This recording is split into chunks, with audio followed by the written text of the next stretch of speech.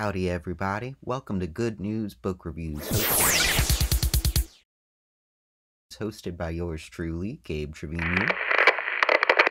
Consider this the pilot episode, I suppose. As for today, well, today I have good news, everyone. This new book I read is quite marvelously thought provoking. Now, go on and raise your hand if you've read Tyranny of the Gene Personalized Medicine and Its Threat to Public Health by Dr. James Tabery. No bother, I shan't let that be an issue. I can give you the cliff notes to my cliff notes right now. You may ask me why I chose this specific book, and I may or may not answer that I don't remember. Or I might actually tell you that gene therapy, and specifically pharmacogenomics, have fascinated me since my first high school biology class, oh, over a decade now. You take your pick, listeners.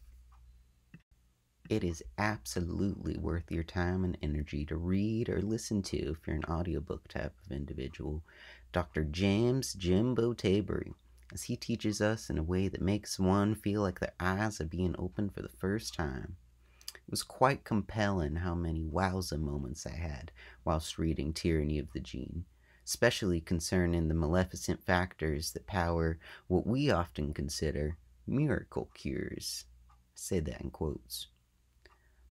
Throughout the book, my boy Jimbo primarily explores the powerful financial, political, technological, and scientific forces at play with personalized medicine and its current development.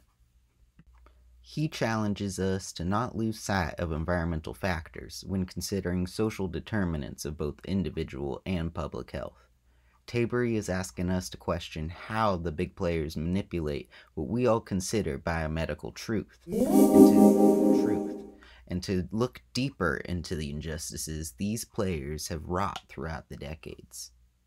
A haunting quote he imprints on us very early on is that, quote, we all have a stake in what this future holds, unquote.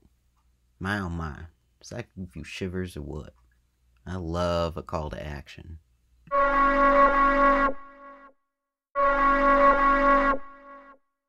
My favorite part of this book is how provocative it comes across when challenging what many deem to be scientific progress and breakthroughs. It is timely in that now is the time to act against the genomics focus within personalized healthcare, and rather we should turn the focus back to environmental and social factors. I thought Jim's backstories brought a personal context into these important scientific concepts. However, sometimes they felt a bit long winded and distracting. Further, I wish that he had written more on implementable solutions to change our day to day. His book cries out for improving health equity while simultaneously criticizing the modern healthcare system, and yet he fails to offer much of an alternative. Despite this, the tyranny of the gene continued to keep me hooked as Tabers critically investigates the wrongdoings of many in power that cause real ill effects on the average consumer. I am wondering how we can continue to progress gene therapy while creating safeguards against the risk of minority populations being victims of structural racism and even eugenics. Now, a quick tip of the hat to our sponsor Jeans for Jeans, where they tailor the fit down to your personal coding. Get your closet a base pair or two today.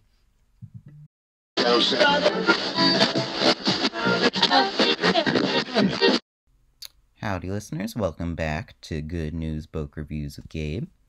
So, I've been wondering how can we challenge the profit driven pharmaceutical sector? Those ones who dare to sell these miracle pills on the market for prices that would bankrupt most individuals. I think these questions resonate with me for a reason, as our generation holds the power to create systematic change of healthcare systems and social policy in order to start to effectively promote health equity within this country and broader.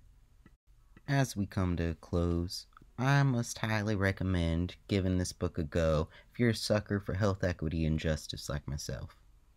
I have learned much of the progress of genomics over the past 10 years, and I feel both enlightened and curious after taking in Dr. James Tabery's wise words of wisdom. If health policy ain't your cup of tea, I'd say this book is still worth a gander. Cause hey, we all got a genome. And that data is becoming more widely available as genomics is gaining popularity in the media and the scientific community alike. Well, folks, that's it for the first episode of Gabe's Good News Book Reviews. This may or may not be the only episode, so I hope you enjoy. And if not, I'll catch you on the flip side. Peace.